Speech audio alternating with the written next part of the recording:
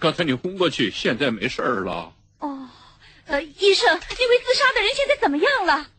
哦，呵呵呵你问的是他吗？啊？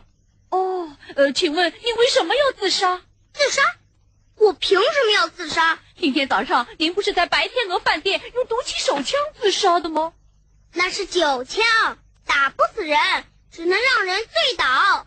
这可真是奇特的新闻。请问您叫什么？我叫莱克。呃，请问赖克先生，你为什么朝自己打枪？我受不了像打雷似的鼾声。这么入耳的鼾声，您受不了？哦，这可真是特大新闻。哦，这可真是怪事儿啊。嗯。